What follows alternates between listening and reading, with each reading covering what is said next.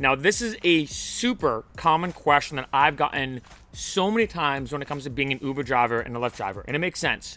What is, if you had to pick one, what is the number one way to make the most amount of money as a driver? Now, before I reveal that, I want to say as a quick side note, I've said this before in a bunch of other videos. The number one factor that really does determine how much money you can make is your location. And I know that's annoying because that might not be in your control. If, like, you live in Boston or Miami or Chicago or Los Angeles or whatever, and you're in that location, you might be like, well, wait, I'm not going to travel to a better location. But keep that in mind. I want to say that as a very important side note. The number one factor that really does determine how much money you can make as a driver is your location, and there's a bunch of other elements of factors within that. I have the entire video listed below in the description if you want to check it out. But now jumping to the main point of this video. Okay, besides your location, how do you really make the most amount of money as a driver? And it's one word, and that is analytics. In case you don't know, I'm a former accountant, so obviously numbers and statistics were my life for a while. And the biggest thing I see so many drivers not doing is tracking. So when I started driving, I remember being like, okay, I'm actually going to write down when I drove, what were the surge rates? How much money did it make on average? How long or short were my rides? And obviously, in the beginning, as you can imagine, Friday and Saturday nights, super popular. 7 to 9 a.m., 5 to 7 p.m., or basically the morning and evening commutes, super popular as well. However, there were certain things I started to notice. For example, take the morning. I obviously noticed that from 7 to 9 a.m., like I said, was a great time to drive. It's right before 9 a.m. when most people start work.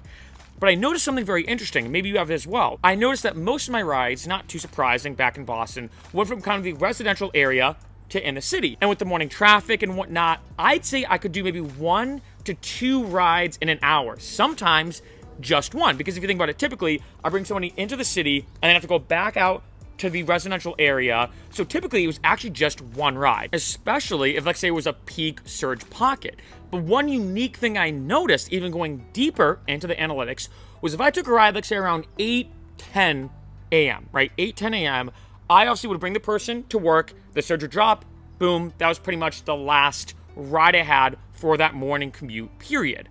However, if I waited till 820, or the magic number for me was like around 825 to 830, the surge would be higher.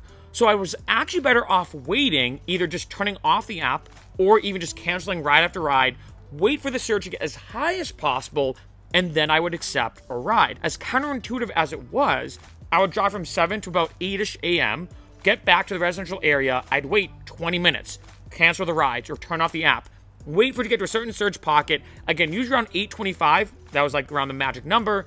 Then I pick somebody up, and by that point, it'd be a high enough surge because everybody is trying to get to work, and I make way more money than if I actually started working 20 minutes earlier. Now, this is just one example, but the biggest thing I suggest to so many drivers is every city is different. Every city has different climates. It has very, very different driving styles. And the biggest thing you should do, as much as you can, I know it sounds weird, is really look at the analytics. That's really the number one way to make the most amount of money. You can see morning commutes versus evening commutes, Friday and Saturday nights. I've talked about this before in other videos that, for example, I found I can make a lot of money doing what I like to call the pregame hours. So like say from 5 p.m. to like 8 p.m., I would drive people to like say when they're pre-gaming, getting ready to go to their friends' places before they go out. Then I could still have my Friday and Saturday nights if like say I wanted to go out, like say I had a DJ gig, whatever the case was. However, I would have not known about the pre-game hours or become aware of it if I didn't really track all my analytics and tracked when was I making the most amount of money driving, track all my analytics, and that way in the future I can optimize my driving to make the most amount of money possible.